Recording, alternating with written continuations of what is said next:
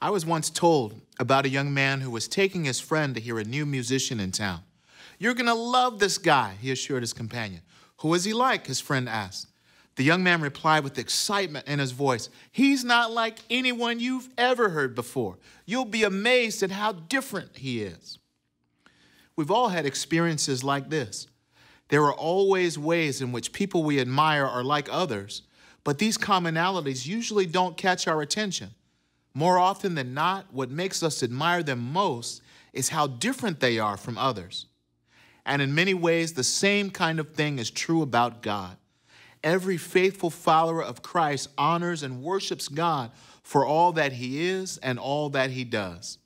But what frequently lifts our spirits in amazement is how gloriously different God is from everything he has created. This is the second lesson in our series, We Believe in God, a series devoted to exploring the doctrine of God, or theology proper in systematic theology. We've entitled this lesson, How God is Different. In this lesson, we'll focus on what theologians have often called God's incommunicable attributes, how gloriously unlike His creation God is.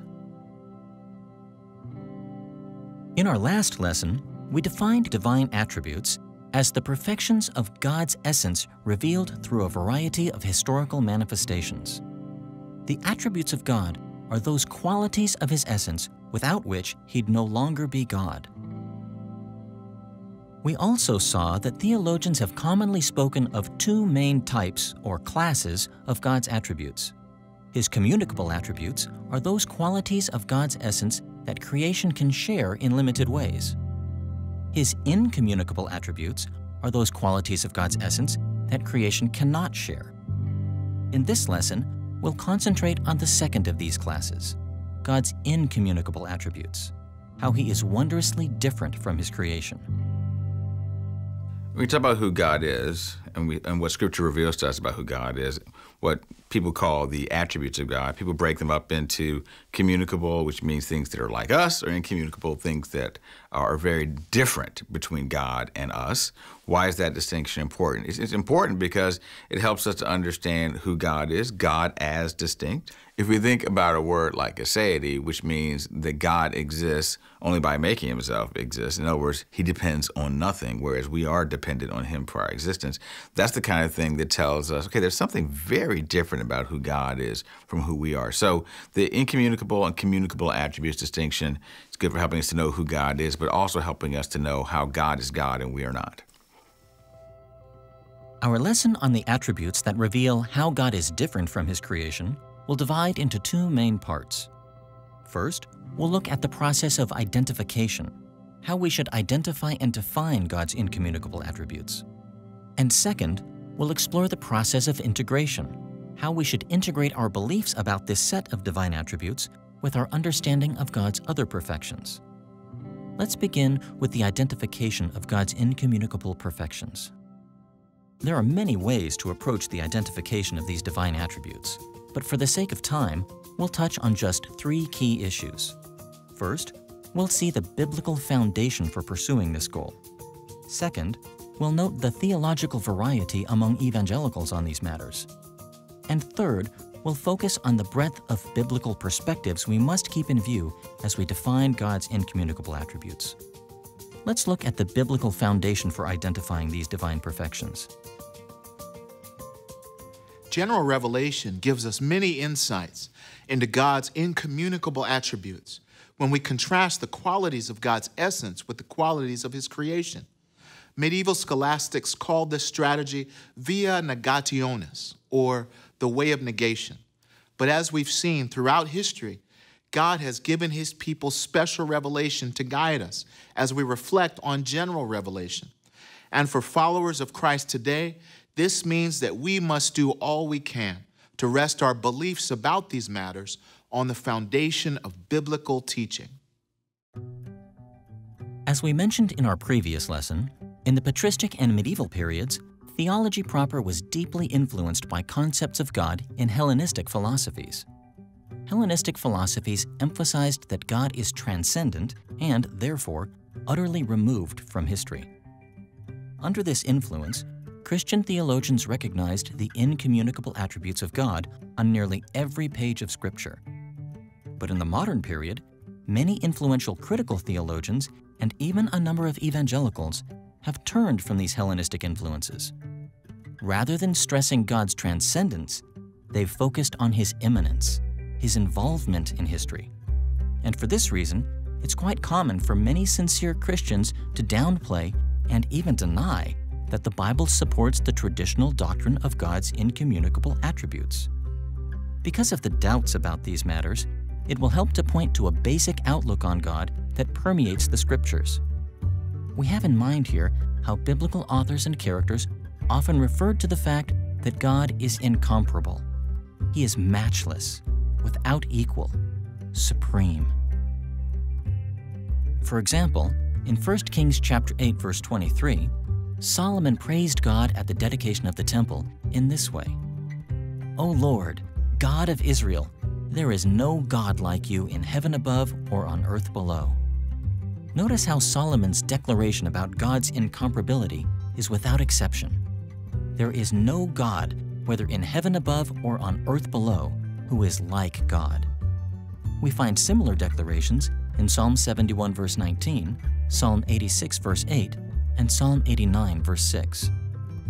And in 2 Samuel chapter 7 verse 22, David said this, How great you are, O sovereign Lord! There is no one like you, and there is no God but you. As we see here, David spoke about God's incomparability in a way that revealed what it means to be God. David said that God is great and that no one is like him. But he also claimed that the sovereign Lord, the Lord Yahweh, or Adonai Yahweh in Hebrew, is so great that there is no God but God. In saying this, David revealed that God's incomparability is essential to what makes God God. Passages like Isaiah chapters 40 through 46 and Job chapters 40 and 41 do much the same. These and similar passages establish the biblical foundation that justifies a careful study of God's incommunicable perfections. These verses reflect the consistent biblical teaching that God is beyond all comparisons with His creation. In a day when this facet of theology proper has been called into question in some circles, and dramatically minimized in others, Scripture continues to reveal God's incomparability. And his incomparability calls on us to learn all we can about how God is different from his creation. Having noted the biblical foundation for the identification of God's incommunicable attributes, we should turn to a second issue the theological variety that exists among evangelicals on these matters. The scriptures don't give us anything even close to a complete, authoritative list of God's incommunicable attributes. Instead, biblical teachings on these matters appear here and there, in this way and that. For this reason, identifying these divine perfections is similar to constructing intricately designed stained glass windows out of shapes and hues that appear in different parts of the Bible. As you can imagine, there are many complex processes that go into recognizing these shapes and colors and synthesizing and cataloging them. So, even though we hold many outlooks in common, it shouldn't surprise us that evangelicals have created different lists of God's incommunicable attributes. We can gain a sense of this theological variety in a number of ways. But for the sake of convenience, let's look at three historical documents from different branches of the Protestant Church. First, we'll review the Augsburg Confession. Second, we'll consider the Belgic Confession. And third, we'll look at the Westminster Shorter Catechism. Let's turn first to the Augsburg Confession, written in 1530. In our last lesson, we noted how the first article of the Lutheran Augsburg Confession summarizes God's attributes in this way.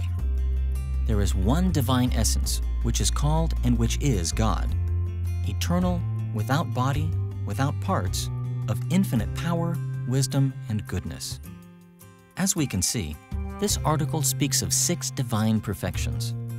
Although it's something of an oversimplification, it's been common to associate the terms power, wisdom, and goodness with God's communicable attributes. These are qualities that His creation, and especially humanity, shares on a creaturely scale. And it has also been common to identify eternal, without body, without parts, and the term infinite with God's incommunicable attributes. These are ways in which God is different from His creation. Keeping in mind the incommunicable attributes listed in the Augsburg Confession, let's observe the theological variety among evangelicals by turning to the Reformed Belgic Confession, written in 1561. In the first article of the Belgic Confession, we read these words There is one only, simple, and spiritual being, which we call God. He is eternal, incomprehensible, invisible, immutable, infinite, almighty, perfectly wise, just, good, and the overflowing fountain of all good. As we see here, along with noting that God is a spiritual being, based on Jesus' words in John chapter 4 verse 24, the Belgic Confession describes God with 10 other terms. Once again, it's an oversimplification, but by and large, theologians have treated the designations almighty, wise, just, and good as communicable attributes because we share power, wisdom, justice, and goodness with God on a creaturely scale. The terms simple, which means that God is not divided into parts, eternal, incomprehensible, which means that we cannot understand anything about God completely, invisible, immutable or unchangeable, and infinite have usually been taken as references to God's incommunicable attributes. In our discussion on the theological variety involved in identifying God's attributes, we've seen how the Augsburg Confession and the Belgic Confession present the incommunicable attributes of God. Now let's turn to our third important document, the Puritan Westminster Shorter Catechism, written in 1647. Question and answer number four of the Westminster Shorter Catechism reads this way What is God? The Catechism answers God is a spirit, infinite, eternal, and unchangeable in his being, wisdom, power, holiness, justice, goodness, and truth. After describing God as a spirit, the Shorter Catechism lists 10 divine perfections. Again, we'll see later that these matters are complex, but it's common to speak of being, wisdom, power, holiness, justice, goodness, and truth as communicable attributes. And it's also common to identify infinite, eternal, and unchangeable, or immutable, with God's incommunicable attributes. When we set these lists of God's incommunicable attributes alongside each other, we can see that they are not the same. All three documents mention that God is eternal and infinite, but only the Belgic Confession and the Shorter Catechism state that God is a spiritual being, or a spirit and that God is immutable or unchangeable. Only the Augsburg Confession claims that God is without body and without parts. And only the Belgic Confession says that God is simple, incomprehensible, and invisible. As we can see from these comparisons, evangelicals have expressed God's incommunicable attributes in different ways. But how many substantial differences do these lists reflect? When theological students first learn that evangelicals don't all use the same terminology for God's incommunicable attributes, they often assume that we believe very different things about God. As in every facet of systematic theology, it's true that variations among us often represent different theological emphases. But more often than not, differences in our lists of God's incommunicable attributes represent little more than variety in terminology. We speak in some detail about theological technical terms in our series, Building Systematic Theology. So it will suffice to make this simple point here. Although faithful followers of Christ have used different technical terms to list God's incommunicable attributes, by and large, these lists don't represent substantial differences in our concepts or beliefs about God. As we've just noted, the Augsburg Confession mentions that God is without body. Although the Belgic Confession and the Westminster Shorter Catechism don't use this expression, they still convey the same belief or concept. The Belgic Confession touches on this when it says that God is a spiritual being and invisible. And Westminster affirms that God is a spirit and therefore without body. The Augsburg Confession also states that God is without parts. And the Belgic Confession says the same thing when it describes God as simple. As we mentioned earlier, simple is an older way of saying undivided or without parts. And Westminster covers this attribute when it says that God is infinite. He has no parts because his perfections have no limits. In a similar way, only the Belgic Confession says that God is incomprehensible. But the Augsburg Confession and the Westminster Shorter Catechism imply this divine attribute by their use of the term infinite. Because God's mind is without limits, we cannot comprehend Him. Clearly, theologians have cataloged the incommunicable attributes of God in different ways. But as we've seen, our concepts of God aren't significantly different. So, we should always look beyond particular technical terms and focus on the concepts or beliefs that they signify. When theologians do their work, or even when a, a number of believers come together to try to build confessions, to be able to give to the church, to be able to describe the beliefs and the, the theology of the church, in, in all of those cases, you're trying to describe the same reality if the people really do agree, but they may make different choices. If we were to think about a, um, a, a, description of God, I mean, we, we understand that God is one, uh, one being in, in three persons, but God is one. And yet, God has these different attributes. It shouldn't be a surprise that if we start talking about something that is, um, that, is that immense and that important that we might use different words. We need to try to seek what's underlying what the words are trying to describe and be able to compare those things. And what can be more confusing is when two different groups of people will use the same word to describe two very different things. And then we have to understand that we can't just put the words next to each other we have to try to dig behind the words to find out what those theologians, what those, uh, what those authors of these confessions are trying to describe, to be able to take what sits underneath it and to be able to compare that and see where there is and isn't difference. And very often when we do that task, we find there's less difference than we think there is because these are still confessions that are rooted in the authority of Scripture and the work of Christ.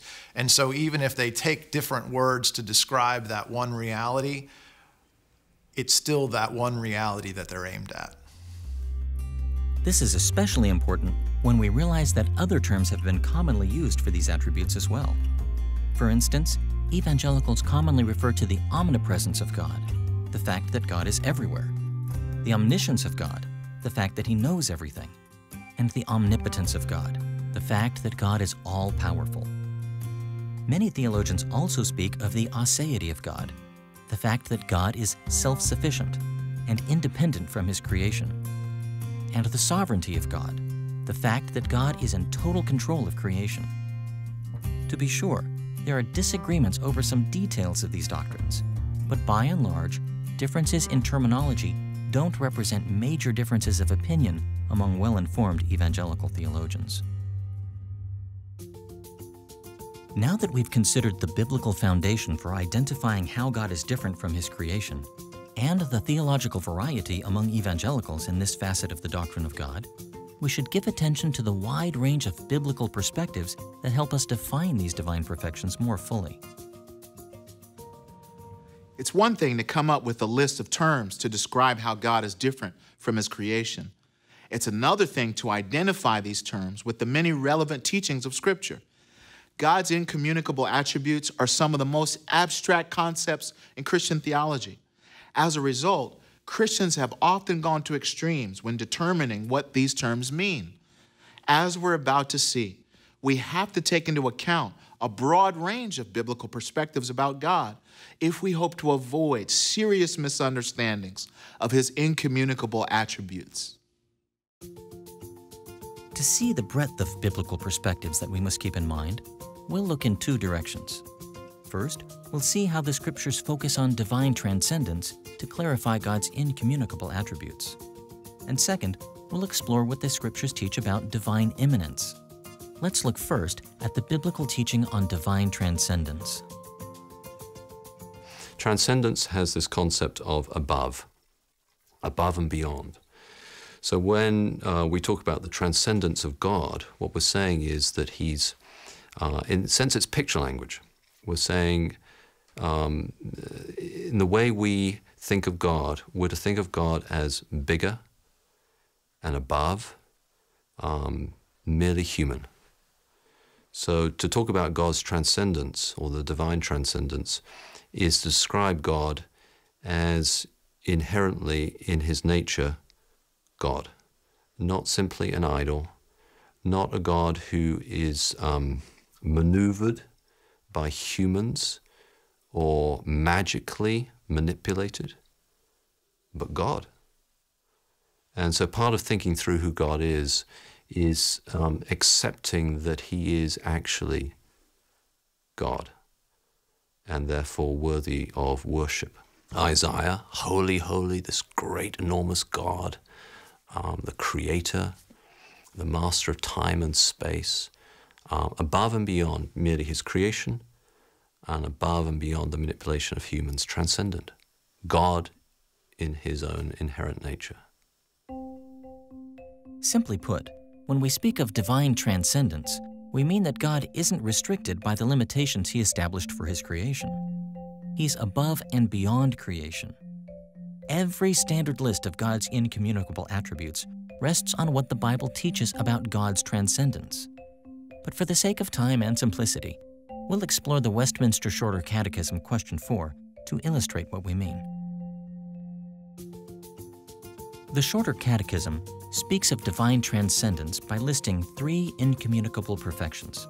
It tells us that God is infinite, eternal, and unchangeable.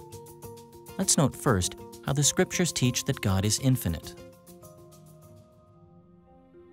Many Christians are surprised to learn that the word infinite isn't found in the Bible. Rather, it's a philosophical technical term for a concept that appears in a variety of ways throughout Scripture.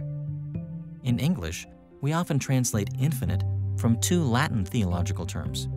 The first is immensus, which means immeasurable or incalculable. The second is infinitus, which means unending or unlimited. So when we say that God is infinite, we mean that God is the opposite of his finite creation. He is immeasurable, incalculable, unending, and unlimited. Simply put, God's perfections are without limits. A number of biblical passages rather explicitly refer to different ways in which God is infinite. For example, in 1 Kings chapter 8 verse 27, Solomon indicated that God cannot be limited by space when he declared to God, "Even the highest heaven cannot contain you." And in Romans chapter 11 verse 33, Paul indicated that God's knowledge and wisdom can't be measured when he spoke of God's unsearchable judgments and paths that are beyond tracing out. And as the psalmist put it in Psalm 139, verse 6, God is so great that knowledge of him is too wonderful, too lofty to attain. These and similar passages indicate that it is right to speak of God as infinite in his perfections. God's infinity uh, is a way of speaking about God's unlimitedness. Uh, we live in the coordinates of time and space. There is a progression of our own lives that takes place in time and in space. Uh, even those two coordinates are difficult to talk about in the abstract. And so when we speak of God's infinity, we're trying to articulate, communicate that God is not bounded uh, in the same way we are by time and by space. Uh, so God's uh, temporal existence or spatial existence is a uh, kind of misuse uh, of categories. Uh, God in one sense, again, we're using language to speak about an experience beyond our own experience, is outside of time. But even then, we're using spatial language to talk about time. Uh, so to speak of God's infinity is to say God is not limited in the ways that we are limited. In addition to affirming divine transcendence by revealing ways that God is infinite, the scriptures also refer directly to the abstract idea that God is eternal. Our English word eternal is often used to translate the biblical terms ad, olam, and occasionally natsak in the Old Testament, and aion and aionios in both the Greek Old Testament or Septuagint and the New Testament. Of course, these terms are also applied to facets of creation, but not in the same sense as they are applied to God. Creation is temporal, limited by time in many different ways, but God is not. God is eternal in the sense that God's perfections are not subject to time. A number of biblical passages speak of different dimensions of the eternality of God. For instance, 1 Timothy chapter 1 verse 17 speaks of God as the eternal ruler. It says, "Now to the King eternal, the only God, be honor and glory forever and ever." Revelation chapter 4 verse 8 praises God as eternal when the heavenly creatures call him the one who was and is and is to come. And 2 Peter chapter 3 verse 8 speaks of how God transcends all of history when it says, "With the Lord, a day is like a thousand years, and a thousand years are like a day." These and many similar passages make it clear that God's perfections are eternal. The Bible often speaks of God as eternal. Uh, that means uh, from everlasting to everlasting. So there was no beginning when there wasn't a God or when God did not exist. Uh, creation is not eternal, creation had a beginning. Uh, all of the universe had a beginning. God created the heavens and the earth uh, out of nothing, but God does not have a beginning. God has been from eternity without end, and God uh, is God forever. Uh, so from everlasting to everlasting. And so eternal would refer to that he's from everlasting and to everlasting. There's no, there's no time when God does, does not exist, uh, either in the past or in the future. The scriptures not only demonstrate divine transcendence by establishing that God is infinite and eternal, they also explicitly point to the fact that God is unchangeable. There are a number of biblical expressions that indicate that God is unchangeable. The Hebrew verb shana means to change. The verb nacham means to change one's mind. And the New Testament Greek noun paralage means change or variation common experience and the Bible make it clear that everything in creation is, at some level, changeable. But when these terms are applied to God, they speak of another way in which God is amazingly different from His creation. According to the Bible, God's perfections cannot change. God Himself said He was unchangeable rather plainly in Malachi chapter 3 verse 6. In this verse, He contrasted His own constancy with the instability of Israel's commitment by stating, I, the Lord, do not change. Numbers chapter 23, verse 19 contrasts God with human beings by saying, God is not a human being that he should change his mind. And in James chapter 1, verse 17, James assured his audience of God's consistency by describing him as the Father of the heavenly lights, who does not change like shifting shadows.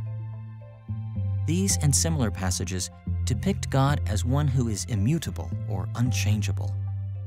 God doesn't change, um, and that comes specifically straight from the Bible uh, in many places, but most obviously Jesus Christ, the same yesterday, today, and forever. Um, the Bible is clear that God doesn't change, and yet it does describe things that look like change. For example, um, when we're talking about God's law, the Bible doesn't indicate that God over time gets a little softer, you know. Um, God doesn't lower his standards. You know, it isn't like he's looked at the human race for thousands of years now and said, well, you know, I knew they weren't perfect, but now I see how really imperfect they are, so they don't have to live up to the same standards. Those things never change. What God told Moses on Mount Sinai and what God has revealed throughout the scriptures, still the same. Um, we are held to the same standard, which would be very frightening if it were not for the fact that the gospel message doesn't change either. That God has always loved his creation and specifically uh, very purposefully loved human beings enough that he came into the world to make a difference in our lives, to change it so that we wouldn't be consigned to hell forever, but could live with him in heaven forever. God's immutability is a warning to us on the one side and a great comfort to us on the other. When we consider both general revelation and the scriptures, it's difficult to deny that God transcends his creation in all three of these ways. Creation is finite, but God is infinite. Creation is temporal, but God is eternal. Creation is changeable, but God is unchangeable. Still, we have to be careful here. Terms like infinite, eternal, and unchangeable are so abstract that they can be easily misconstrued. For instance, many beginning students of theology go to an extreme. They act as if God's incommunicable attributes form an impenetrable barrier between God and His creation. Despite many rather obvious teachings to the contrary in both Scripture and systematic theology, some people only see God's transcendence. They convince themselves that because God is infinite, eternal, and unchangeable, He cannot actually enter into and engage the finite, temporal, and changing world. Many argue, for instance, that because God has infinite knowledge, God never investigates circumstances. But the scriptures frequently speak to the contrary. For instance, in Genesis chapter 18, verses 20 and 21, God sent angelic spies to investigate the sin of Sodom and Gomorrah. Similarly, some people hold that because God is eternal, God never waits to react to human obedience and disobedience. Actually, he does this quite often. For example, Deuteronomy chapter 8 verse 2 tells us that God waited to judge Israel in the Exodus until after they had failed their tests of obedience. In addition, many maintain that because God is unchangeable, God never responds to prayers. But God responds to prayer throughout the Bible. We see this in places like Exodus chapter 32 verse 14. After God stated that he was going to destroy the Israelites at the foot of Mount Sinai, he responded to Moses' prayer and refrained from destroying his people. So, how do these evangelicals reconcile their views of God's incommunicable attributes with these and similar teachings of Scripture? Unfortunately, all too often, they treat biblical references to God's engagements with His creation as mere appearances. From this point of view, God doesn't actually involve Himself with His creation. He only gives us the impression that He does. But when we conceive of God's incommunicable attributes in ways that diminish the reality of His involvement with creation, we strike at the heart of biblical faith. What could be more important in Scripture than the fact that God is fully and genuinely engaged with His finite, temporal, and changing creation? What could be more important to all of us than the reality that God interacts with us? To avoid these serious misconceptions, we must always consider the full scope of biblical perspectives about God's incommunicable attributes. We've seen how the scriptures refer to divine transcendence. Now let's see how they also affirm divine immanence. On the whole, divine immanence refers to the reality of God's involvement with His creation. In fact, the Bible devotes much more time to God's immanent involvement in the world than it does to his transcendence. We see this in the many ways Scripture reports God's historical manifestations. Historical manifestations are the ways God involved himself with the unfolding of biblical history. The Scriptures give us many descriptions of God. They reveal a variety of his names and titles. They offer countless metaphors and similes for God, and they report a number of his actions. In some cases, the scriptures focus on God's historical manifestations in short periods of time. In other cases, they reflect on his historical displays over long periods of time. They deal with God's activities in his heavenly court and on earth. They disclose things about his interactions with the spiritual world and with the physical world, with large groups of people and with smaller groups, with families and even with individuals. Unfortunately, some well meaning Christians have misinterpreted the Bible's emphasis on divine immanence. They viewed God's interactions with His creation as a denial of His divine transcendence. Some of these outlooks are more extreme than others, but in one way or another, they all stress divine immanence to such a degree that they reject God's incommunicable attributes. For instance, they conclude that God must be finite because he asks questions, expresses frustration, and doesn't immediately overcome evil. Some theologians have suggested that God is not eternal because he waits to act until after he tests his people. He offers salvation and he threatens judgment. These same theologians have concluded that God is changeable because God answers prayer, relents, and revises guiding principles.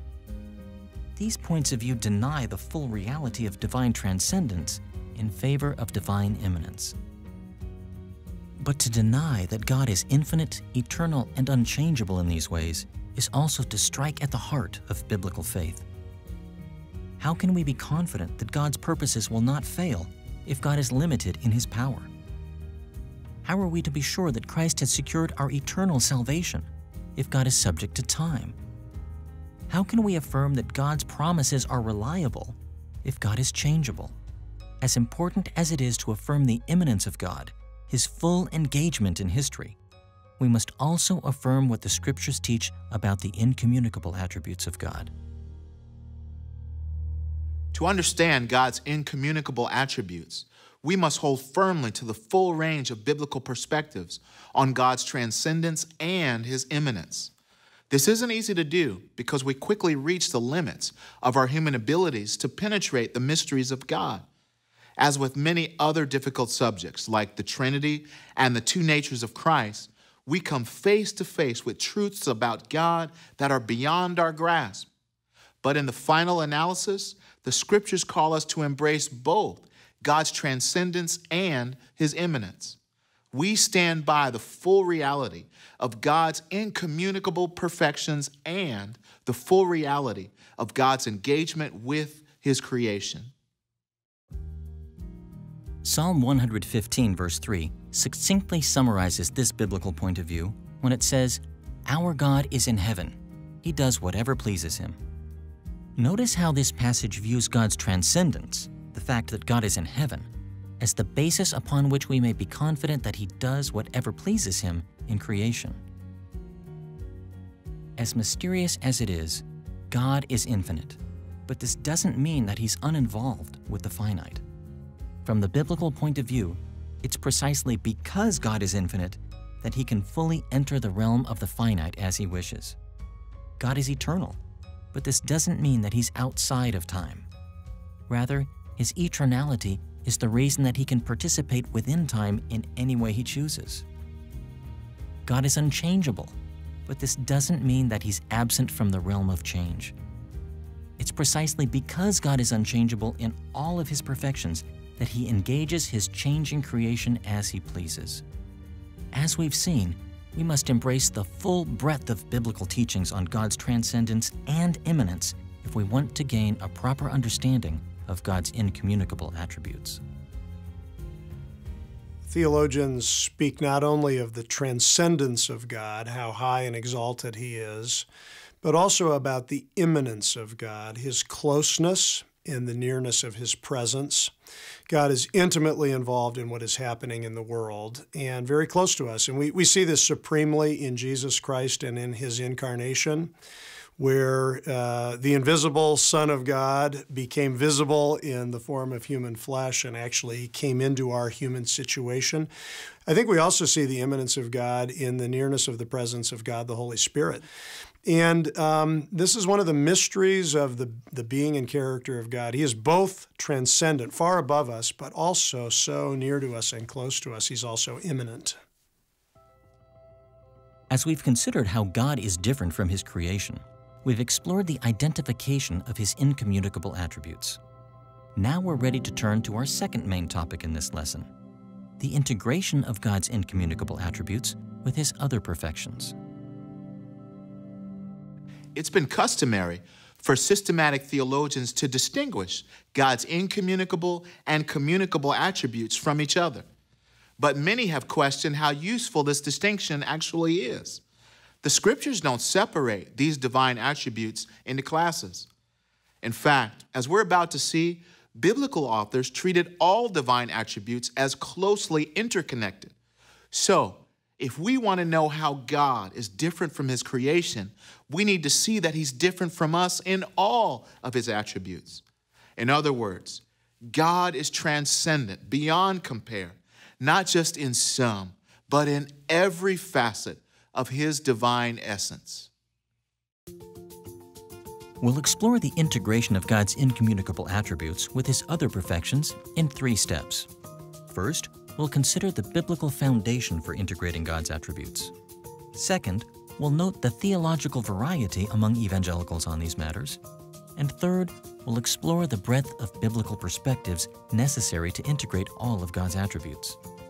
Let's begin with the biblical foundation for exploring the integration of God's attributes. Integrating God's attributes accords with the long standing Christian doctrine of the simplicity of God. God isn't simple in that He's easy to understand. When theologians speak of God's simplicity, they have in mind that God's essence is not a composite, it's not divided. As the first article of the Augsburg Confession puts it, God is without parts. And as the first article of the Belgic Confession expresses it, God is one simple and spiritual being. The doctrine of simplicity has been um, disputed over the centuries. Um, what it does not mean is that God has no um, personality, no movement, no dynamism, uh, no characteristics. It doesn't mean that he is simple in the sense that he's some sort of platonic being with no uh, attributes. What it means is that he's, if I can put it this way, he's one kind of being. He does not add anything outside of himself to himself. He's not composed. He's not a bunch of parts added together the way some theologians think. So um, he is, the Bible says God is a spirit. Um, a spirit, by definition, is a simple being not composed, not complex, not uh, polytheistic. And again, this is a uh, ultimately a very comforting doctrine to us because it means our God is pure. He um, is not an amalgam of things that he that were put into his being or that he composed. So it's not that he is simplistic or has no interest or intrigue or personality or love or attributes, it is that his being is not an addition of various parts. Um, he is pure spirit. During the patristic and medieval periods, the influence of Hellenistic philosophies on leading Christian theologians made it easy to affirm the doctrine of God's simplicity. Hellenistic outlooks on God emphasized the absolute unity or oneness of God and this backdrop led biblical interpreters to be keenly aware of this theme in the scriptures. But in more recent history, as the influence of Hellenistic philosophy has waned, a number of leading theologians have doubted that the scriptures teach the simplicity or unity of God's essence. So, it's important to point out the biblical foundation for this doctrine. Moses' well-known words in Deuteronomy chapter 6 verse 4 have often been used to support belief in God's simplicity. There we read, Hear, O Israel, the Lord our God, the Lord is one. Modern translators have offered several alternative translations. The Lord our God is one Lord. The Lord is our God, the Lord is one. Or, the Lord is our God, the Lord alone. Those who don't see the simplicity of God in this passage argue that it calls for Israel to serve only Yahweh rather than some other God but the traditional translation of the Lord is one implies the oneness or unity of God Himself. Although the Hebrew grammar supports both of these possibilities, there's good reason to think that Moses intended the latter. we could say many things in favor of the traditional translation. But it will suffice to put it this way. In the book of Deuteronomy, Moses called Israel to be loyal to God and to turn away from all other gods. We know that at times the Israelites were tempted to total apostasy by utterly rejecting the Lord and serving the gods of other nations. But more often, the Israelites fell into syncretism and mixed the beliefs and practices of other nations and religions with their own. These other nations referred to their gods, like the Baals, Ashtaroths, and other gods, in the plural because they believed that these gods were divided, as it were, among different places. They acknowledged these gods one way in one place and another way in another place. By contrast, Moses repeatedly taught Israel that God should only be worshiped at the one place that God ordained. Unlike the gods of other nations, God could not be divided into parts between one place and another because the Lord is one. In this sense, then, Deuteronomy chapter 6 verse 4 lays a foundation for the Christian doctrine of the simplicity of God, the fact that God is not divided into parts. In the literal translation of James chapter 2 verse 19, James confirmed this understanding of Deuteronomy chapter 6 verse 4 when he said, "You believe that God is one. You do well." James did not write, "You believe that there is one God," as some translations put it. He literally wrote, "You believe that God is one." In this way, James confirmed that Deuteronomy chapter 6 verse 4 teaches the oneness, the unity, the simplicity of God. The biblical doctrine of divine simplicity has many implications for theology proper. But as we can see here, this doctrine establishes the biblical foundation for exploring the integration of God's attributes. God's perfections are not different parts of God. They are fully unified, interconnected qualities of His one essence. With this biblical foundation for the integration of God's attributes in mind, we should turn to a second issue the theological variety among evangelical approaches to integrating God's communicable and incommunicable perfections. As we saw earlier in this lesson, even though evangelicals have used a variety of terms to sum up the incommunicable attributes of God, there has been a great deal of unity. In many ways, the same kind of thing is true of the integration of God's incommunicable attributes with his communicable attributes. This integration has been expressed in a number of ways. Yet, to one degree or another, evangelicals, rather consistently, have affirmed the value of integrating these two classes of attributes. To explore this theological variety among evangelicals, let's look once again at the three documents we mentioned earlier. First, we'll examine the Augsburg Confession. Then we'll look at the Belgic Confession. And third, we'll spend some time with the Westminster Shorter Catechism. Consider first the Augsburg Confession. You'll recall that the first article of the Augsburg Confession refers to God as eternal, without body, without parts, of infinite power, wisdom, and goodness. As we mentioned earlier, the terms eternal, without body, without parts, and infinite are frequently associated with God's incommunicable attributes because he is different from his creation in these ways. The last three terms, power, wisdom, and goodness, are usually identified as communicable attributes because we can share these qualities with God on a creaturely scale. But notice that the confession doesn't treat these categories as entirely separate. It doesn't simply speak of God's power, wisdom, and goodness. Rather, it adds the adjective infinite or immensus in Latin. The grammar of the Latin text indicates that God is infinite in his power, infinite in his wisdom, and infinite in his goodness. In effect, the Augsburg Confession looks through God's infinity, through the fact that he is unlimited, and views his power, wisdom, and goodness in the light of his infinity. And in so doing, the confession acknowledges that God's incommunicable attribute of infinity should be fully integrated with his communicable attributes. We can see the theological variety in approaches to God's attributes by comparing what we've just seen in the Augsburg Confession with the first article of the Belgic Confession. The Belgic Confession says that God is eternal, incomprehensible, invisible, immutable, infinite, almighty, perfectly wise, just, and good. We mentioned earlier that more often than not, the terms eternal, incomprehensible, invisible, immutable, and infinite are classified as incommunicable attributes. And the last four terms are most commonly associated with God's communicable attributes. But notice that these last four attributes are not listed simply as mighty, wise, just, and good. Although our standard English translations don't make this clear, the original French here uses the phrases tout puissant, meaning completely or perfectly mighty, and tout sage, meaning completely or perfectly wise.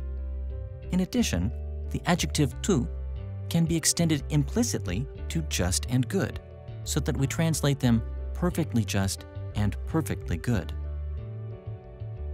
Much like the Augsburg Confession, the Belgic Confession looks through the fact that God is infinite and views his might, wisdom, justice, and goodness in the light of his infinity. Although the Belgic Confession doesn't use exactly the same words or the same divisions as the Augsburg Confession, we can see the similarities. Keeping in mind the theological variety that we've seen in the Augsburg Confession and the Belgic Confession, let's turn to the much more extensive pursuit of integration that appears in the Westminster Shorter Catechism. As you'll recall, the answer to question 4 of Westminster begins with the statement that God is a spirit. It then lists three incommunicable attributes of God as spirit infinite, eternal, and unchangeable. But rather than allowing us to think of these incommunicable perfections in isolation, Westminster explains that all three of them are true of God in his being, wisdom, power, holiness, justice, goodness, and truth. The Westminster Catechism's strategy for integrating God's attributes offers many advantages. To begin with, it uses three broad categories to summarize God's incommunicable attributes. How is God different from His creation? He is infinite, eternal, and unchangeable. Then the Catechism answers the question of how God is infinite, eternal, and unchangeable by looking through these three windows or attributes to His communicable attributes. God is infinite in his being, wisdom, power, holiness, justice, goodness, and truth. God is eternal in his being, wisdom, power, holiness, justice, goodness, and truth. God is unchangeable in his being, wisdom, power, holiness, justice, goodness, and truth. In effect, the Westminster Shorter Catechism provides a systematic way of exploring the full integration of God's incommunicable attributes with his communicable perfections. Now that we've looked at the integration of God's incommunicable attributes with his other attributes by considering the biblical foundation and the theological variety among evangelicals in this area, let's explore the value of taking into account the breadth of biblical perspectives on these matters. Everything we've said in this lesson has been designed to help us answer the question how is God different from his creation? And as we've suggested, God is different from his creation in all of his perfections. The scriptures point us in this direction in so many ways that we can only touch on a few of these biblical perspectives.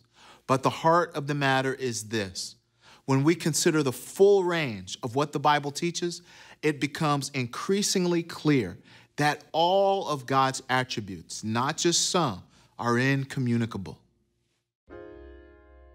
We'll illustrate what we have in mind by following the strategy of the fourth question and answer in the Westminster Shorter Catechism. As we mentioned earlier, the Catechism systematizes these matters by noting that God is infinite, eternal, and unchangeable in each of the communicable attributes it identifies. To see the breadth of biblical perspectives on integrating God's attributes, we'll consider all seven communicable attributes listed in the Catechism starting with the being or the existence of God.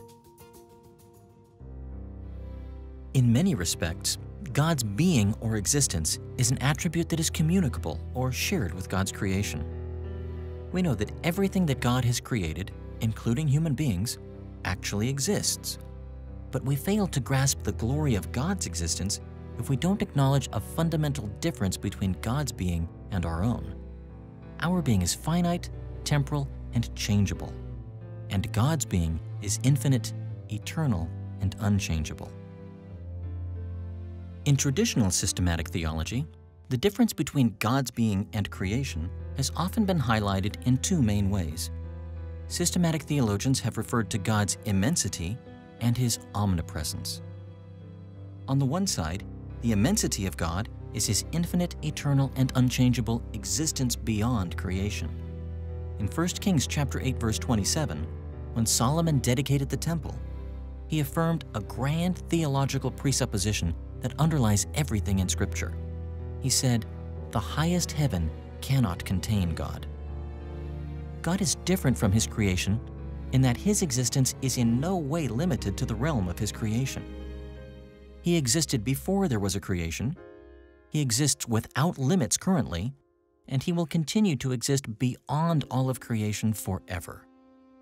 On the other side, the omnipresence of God can be defined as his existence everywhere within creation. Systematic theologians point out that unlike any facet of the finite, time-bound, changeable creation, God's being is in all places. As God put it in Jeremiah chapter 23 verse 24, "Do not I fill heaven and earth?" Belief in the omnipresence of God is so basic to biblical faith that in Acts chapter 17 verse 28, Paul agreed with Greek poets that in God we live and move and have our being. A number of other passages, like Psalm 139 verses 7 through 10, Isaiah chapter 66 verse 1, and Acts chapter 7 verses 48 and 49, also touch on the omnipresence of God. The, the one classic passage on which the doctrine of God's omnipresence is built is Acts 17 24 to 28, in which Paul is speaking at Athens and uh, is amazed that God is able to reach even these pagan Gentiles. And so, as part of what he says to explain, God's not just the God of the Jews. God is the God of all people everywhere, earth wide. He then launches into kind of universe wide, cosmic wide. And along the way, he makes this comment about God God is never far from any one of us, pagan or Jewish believer. In fact, he's the God in whom uh, we live and move and have our being. That is, he's everywhere. The other passage to fuse uh, and synthesize Acts 17 24 to 28 with is Jeremiah 23 23 to 24, in which the point in that passage is uh, you can't get away from God. There's, it's, uh, there's no place to hide. You know, you can, you can run, but you can't hide.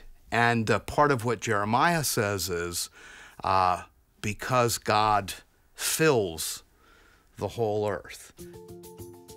In addition to God's being, the Shorter Catechism also affirms that God's wisdom is infinite, eternal, and unchangeable. In many respects, wisdom is a communicable attribute of God shared by God's rational creatures. But whatever measure of wisdom we possess, Scripture and general revelation make it clear that our wisdom is limited, temporal, and changeable. So, one of the ways God is different from His creation is that His wisdom is infinite, eternal, and unchangeable. Traditional systematic theologians typically stress the incommunicable dimensions of God's wisdom by referring to God's omniscience and His incomprehensibility.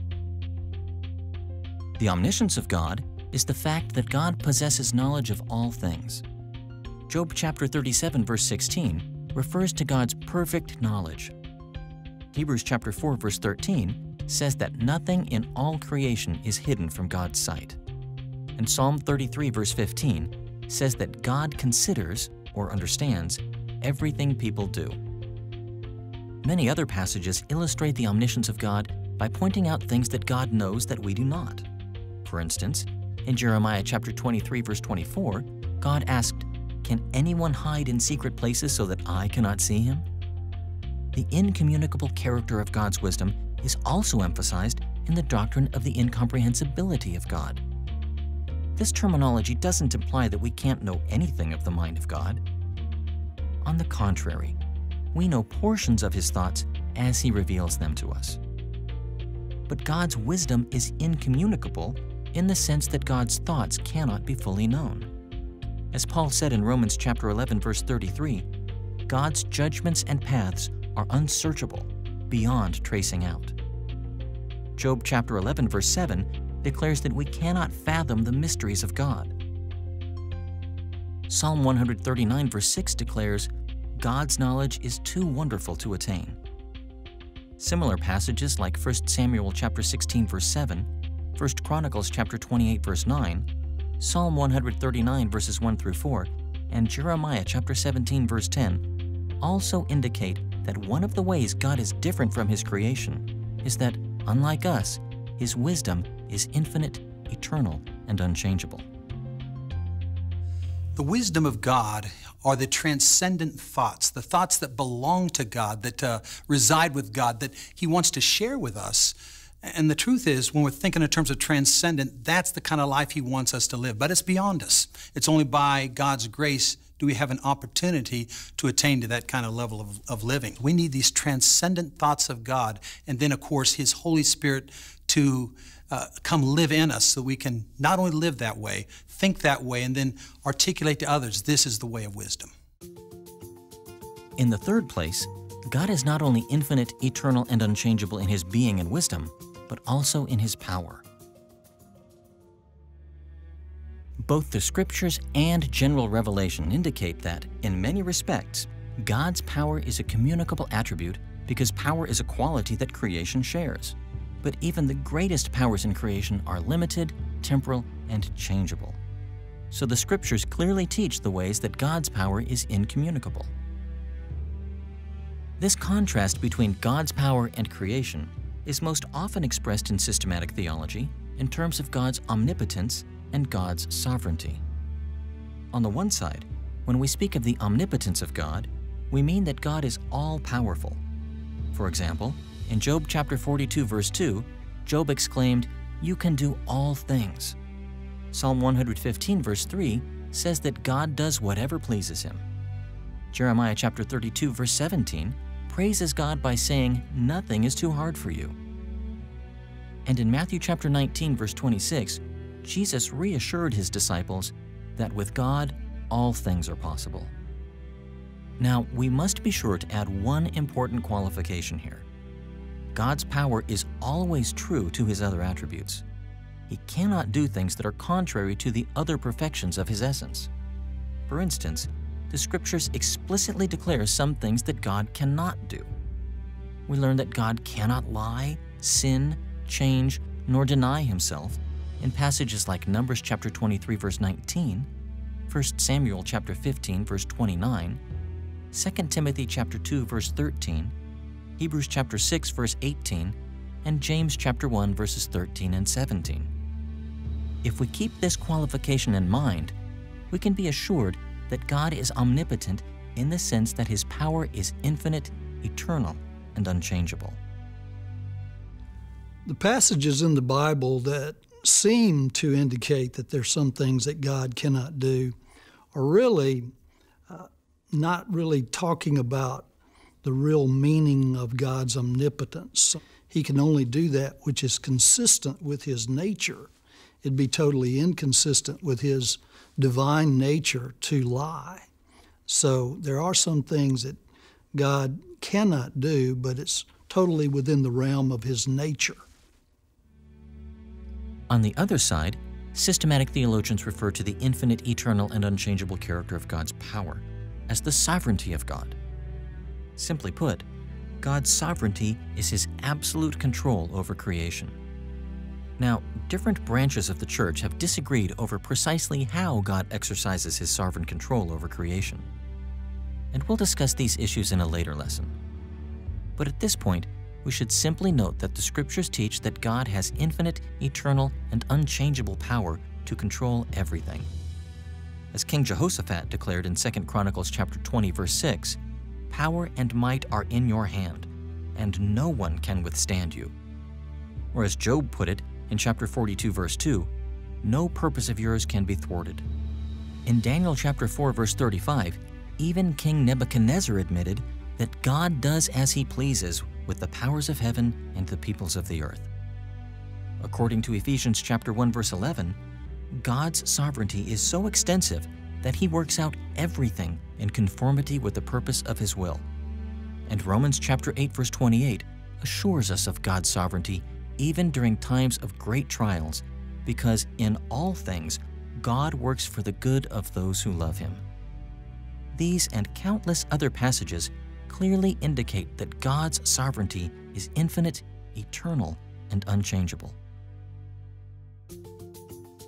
In addition to its treatment of God's being, wisdom, and power, the Westminster Shorter Catechism also points out that God is infinite, eternal, and unchangeable in His holiness. In many respects, holiness is a communicable attribute of God because it's shared by some facets of creation. The scriptures frequently refer to locations, objects, spirits, and people as holy, and the biblical adjectives that we usually translate as holy, sacred, or sanctified, kadosh in Hebrew and hagios in Greek, simply mean separate or set apart. But both general revelation and the scriptures make it clear that the holiness of creatures is finite, temporal, and changeable, while God's holiness is infinite, eternal, and unchangeable. In systematics, theologians most often approach the incommunicable qualities of God's holiness by calling attention to God's moral holiness. They also highlight what may be called his majestic holiness. On the one side, the moral holiness of God refers to the fact that he is separate from all evil. As Psalm 92, verse 15 puts it, there is no wickedness in him. And Habakkuk chapter 1, verses 12 and 13 exclaims, Holy One, your eyes are too pure to look on evil. You cannot tolerate wrongdoing. God's moral purity is so basic to biblical faith that James wrote confidently in James chapter 1 verse 13, God cannot be tempted by evil, nor does he tempt anyone. On the other side, the scriptures also point to what has been called the majestic holiness of God. This terminology indicates that God is separate from all creation including his morally pure creatures. The difference between God's moral holiness and his ontological holiness, or majestic holiness, as we might say, uh, goes back to the old idea of, of what the word holy means. And it essentially means set apart from. And there's two things that God is set apart from. First of all, he is set apart from sinners, he's pure. He never sins. He is perfectly righteous. And so he's set apart from sinners in that regard, morally perfect, pure, holy in that sense. But there's a second sense in which God is also holy. That is, he's higher than us, he's different than us, he's of a different nature and ontological status, a higher being, and in that respect, is holy as well. His ways and his thoughts are far above ours. So God is holy, that is set apart in his being and in the righteousness of his character. God's majestic holiness is most vividly illustrated in Isaiah chapter 6 verse 3, where seraphim cry out, "Holy, holy, holy is the Lord Almighty." In this passage, seraphim, morally pure creatures who serve before the throne of God, acknowledge that God is to be worshiped as thrice holy, utterly supreme in his holiness. Similar expressions of God's majestic holiness appear in passages like Exodus chapter 15 verse 11, 1 Samuel chapter 2 verse 2, Isaiah chapter 57 verse 15, and Hosea chapter 11 verse 9. Not only is God infinite, eternal, and unchangeable in his being, wisdom, power, and holiness, these incommunicable qualities also characterize his justice. In many respects, both general and special revelation indicate that justice is a communicable attribute because moral creatures, especially human beings, can be just and righteous. The concept of God's justice is often expressed by the family of Hebrew terms associated with the word tzaddik and with the family of Greek terms associated with the word dikaiosune. We normally translate these terms righteousness or justice. But while human righteousness and justice are limited, temporal, and changing, God's righteousness or justice is infinite, eternal, and unchangeable. The attribute of God's justice is most often associated in Scripture with the judgments of his heavenly court. As 1 Peter chapter 1 verse 17 reads, "We have a Father who judges each person's work impartially." According to Romans chapter 2 verses 5 and 6, in righteous judgment God will repay each person according to what they have done. And because God's judgments are always true, in Romans chapter 9 verse 14, Paul asked, "Is God unjust?" And his reply was firm, "Not at all." Moses declared in Deuteronomy chapter 32 verse 4, "All his ways are just. Upright and just is he." So it's no wonder that in John chapter 17 verse 25, Jesus called his heavenly Father righteous or just Father. Systematic theologians have drawn attention to the justice of God by focusing on two main areas God's just rewards and his just punishments. On the one side, God's nature is to grant just rewards for righteousness. As Psalm 58, verse 11 puts it, the righteous still are rewarded because there is a God who judges the earth.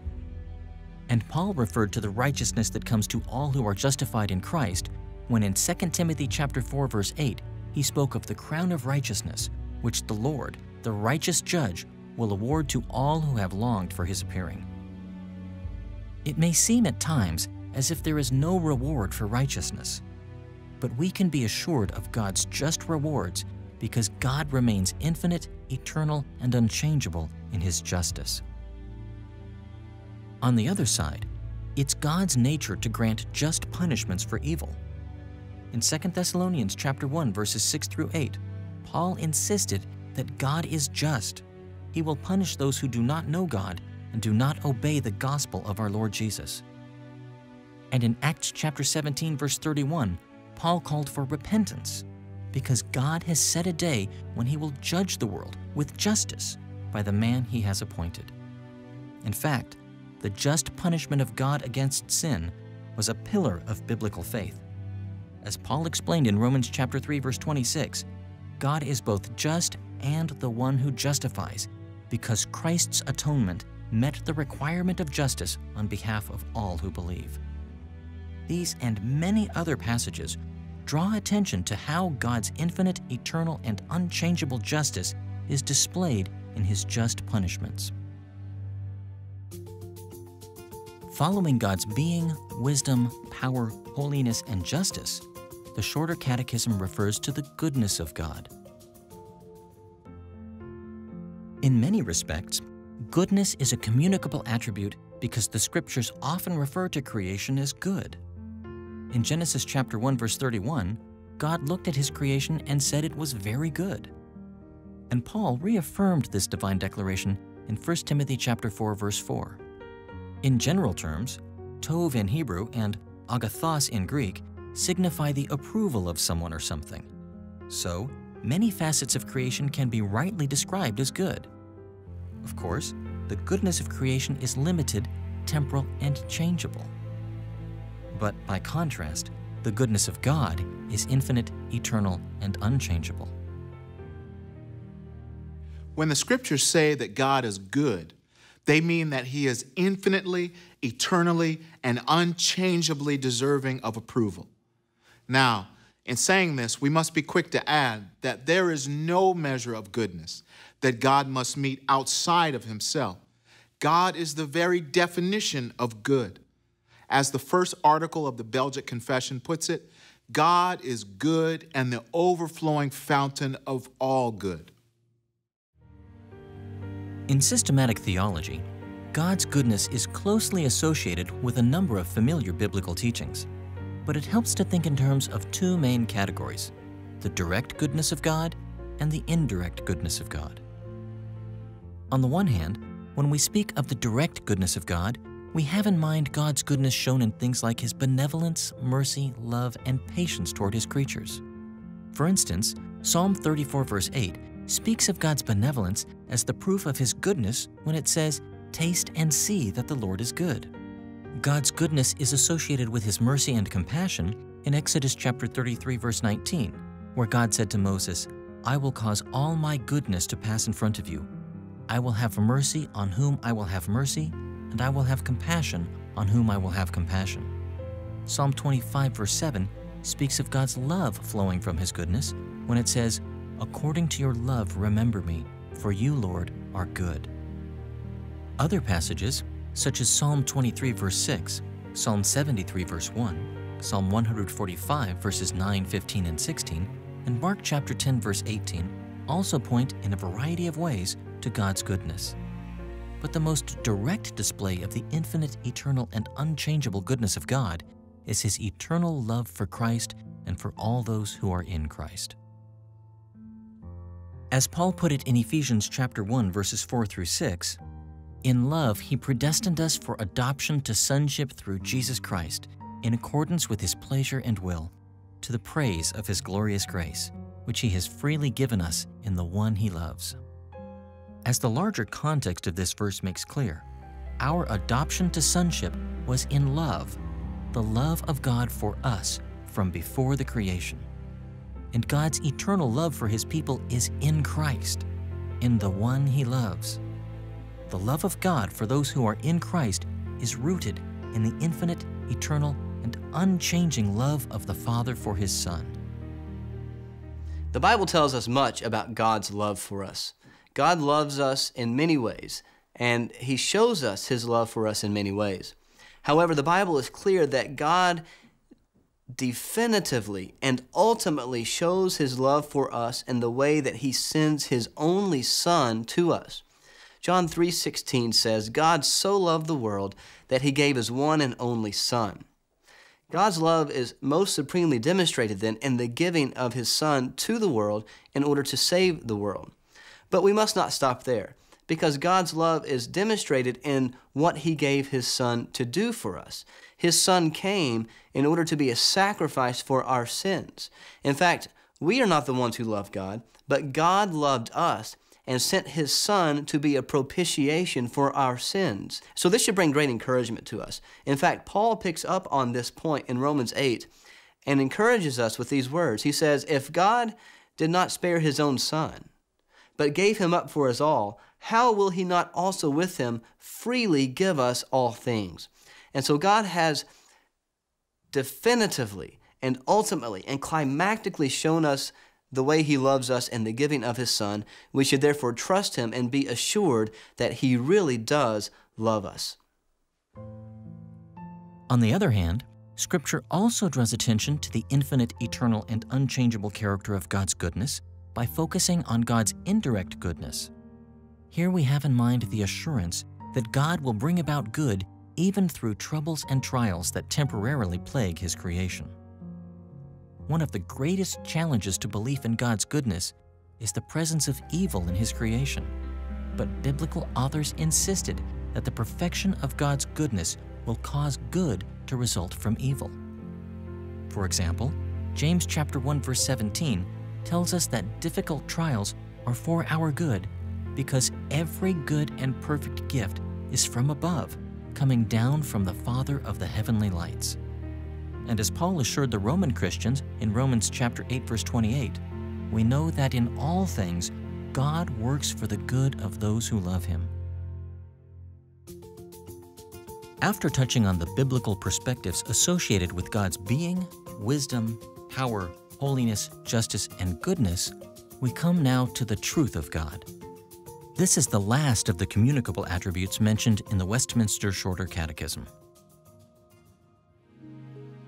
Both the Bible and general revelation make it clear that in many respects, truth is a communicable attribute. God's rational and moral creatures can be true, honest, reliable, and faithful. The concept of God's truth derives from the family of Hebrew terms associated with the verb aman, often translated to be sure, confirmed, or true, and from the well-known term chesed, often translated faithfulness or loving kindness. This concept also comes from the New Testament Greek terms associated with aletheia and pistis. These biblical terms signify veracity, truthfulness, reliability, and faithfulness. God's creatures can exhibit these qualities, but only in finite, temporal, and changing ways. By contrast, the truth of God is infinite, eternal, and unchangeable. Paul reflected on the incomparable quality of God's truth in Romans chapter 3 verse 4 when he said, "Let God be true and every human being a liar." By and large, systematic theologians have highlighted this attribute of God in two main ways. God is the faithful source of truth, and he's faithful to his promises. On the one side, God is extolled as the faithful source of truth. In Psalm 119, verse 43, the psalmist spoke of the scriptures as God's word of truth. In this same psalm, in verse 142, he confidently declared, Your law is true. Psalm 25, verse 5, is a prayer for God to guide me in your truth and teach me. In John chapter 8, verse 32, Jesus explained to his disciples that if they held to his teaching, then they would know the truth and the truth would set them free. In John chapter 16, verse 13, Christ promised his apostles that the Spirit of truth will guide you into all the truth. And in John chapter 17, verse 17, Jesus prayed to the Father, Sanctify them by the truth. Your word is truth. In these and other ways, the scriptures make it clear that when God discloses truth, it is fully reliable because it is his very nature to be faithful and true. On the other side, God is also infinitely, eternally, and unchangeably truthful or faithful to his promises. God can be relied upon to fulfill all of his promises. Now, we have to be careful here. Many times in Scripture, what may appear to be a promise from God is actually an offer or a threat from God with implicit conditions. If the implicit conditions aren't met, God's offer or threat is not fulfilled. But as Paul wrote in Titus chapter 1 verse 2, God does not lie. If God makes a promise, he will fulfill it. Numbers chapter 23 verse 19, Psalm 33 verse 4, Hebrews chapter 6 verse 18, and many other passages point to God's faithful fulfillment of all promises. It's no surprise then that Revelation chapter 3 verse 14 introduces the exalted Christ as the faithful and true witness, the ruler of God's creation. We've only touched on a few of the many things that could be said about this facet of the doctrine of God.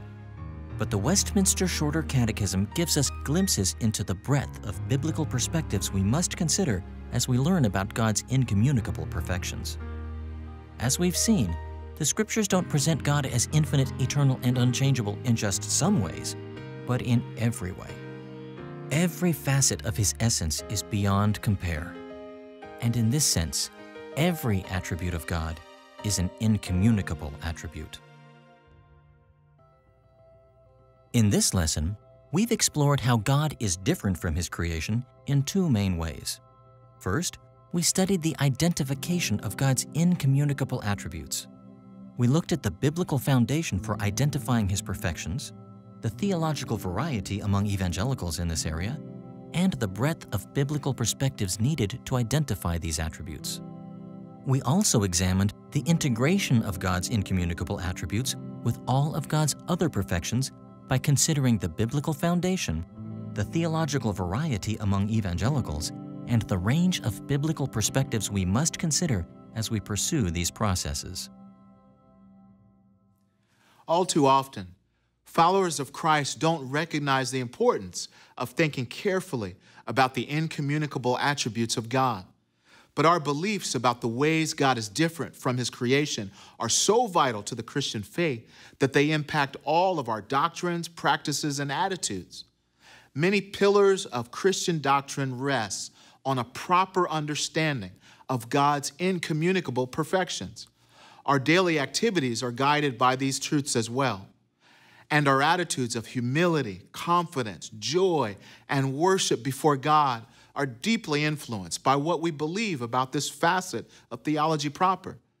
Understanding what the scriptures teach about the incommunicable attributes of God equips us for every dimension of faithful service in Christ.